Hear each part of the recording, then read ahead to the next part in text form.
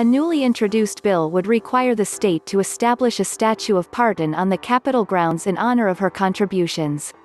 Representative John Windle, D. Livingston, filed a bill Wednesday that would require the Tennessee's State Capitol Commission to develop and execute a plan to erect a Parton statue facing the Ryman Auditorium, where she performs from time to time.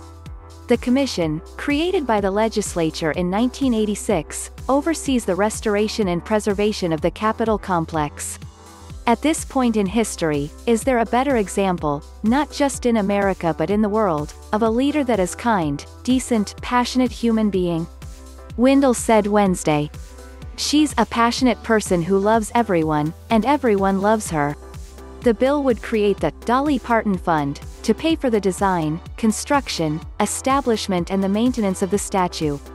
The money would come from gifts, grants and donations the state receives from private sources, Windle said. The legislation also would allow the public and other interested parties a chance to offer input on the design of the statue.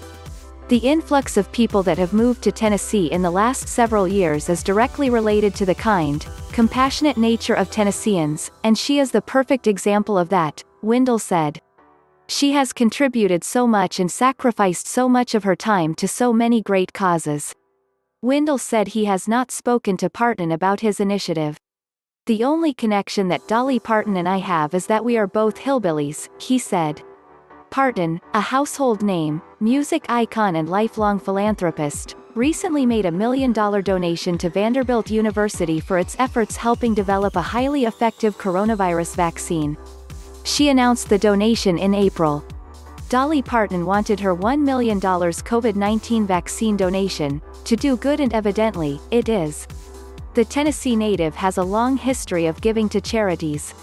In the 1990s, Parton founded the Imagination Library to boost child literacy, mailing books to those under the age of five across the world. The organization has donated more than 100 million books and partnered with multiple organizations, including the Library of Congress in Washington, D.C., and the State Department of Education, to develop literacy programs. In 1986, she formed her entertainment empire Dollywood Co., which employs thousands of Tennesseans. Suggestions to establish a Parton monument in Tennessee's capital emerged during last year's legislative session amid a heated debate over the removal of the bust of Nathan Bedford Forrest, a Confederate general and early leader of the Ku Klux Klan, from the building. Petition seeks to replace Confederate memorials with Dolly Parton in Tennessee. The move triggered lengthy debates.